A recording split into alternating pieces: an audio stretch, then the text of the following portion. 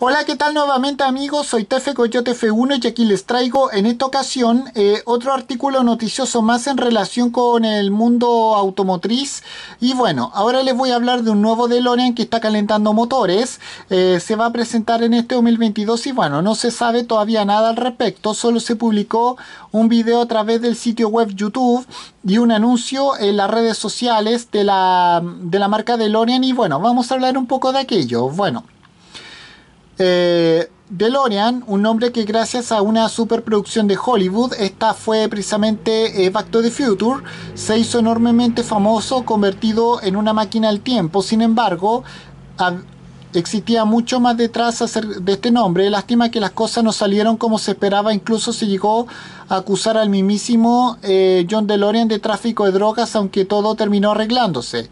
Una historia que los fanáticos se, con se conocen casi al dedillo, ya que además de ser la máquina del tiempo más genial que fue vista en televisión y también en el cine, también resulta ser una historia bastante interesante, protagonizada por un automóvil que, había, que habría merecido mucho más y parece que así será, ya que DeLorean promete el lanzamiento de un nuevo automóvil. Luego del cese de actividad de DeLorean Motor Company, el taller más importante de esta marca automotriz y especializado en sus en sus peculiares modelos TMC-12. Eh, compró cada una de sus piezas, sus marcas y herramientas tan pronto como pudo. Realizó desde aquel entonces reparaciones, repuestos y hasta se llegó a montar eh, ejemplares enteros. Para ello, el propietario de este mencionado taller, eh, Stephen Wynn, eh, creó la nueva DeLorean Motor Company y se aprovechó de la ley de fabricantes de vehículos motorizados de bajo volumen estadounidense que le permitió vender automóviles nuevos sin tener que cumplir con cada uno de los requisitos de los automóviles modernos.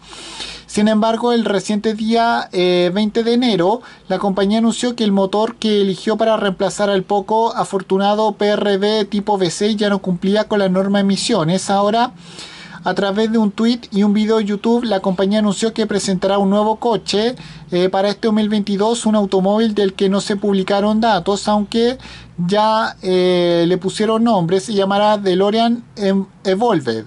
Bueno, los publicados por esta, por esta empresa automotriz no deja nada, lo publicado por esta empresa automotriz no deja nada claro porque lo único que se puede ver son las famosas eh, puertas de apertura tipo ala de gaviota. Sin embargo, en distintos sitios aparece una B con forma que forman las puertas.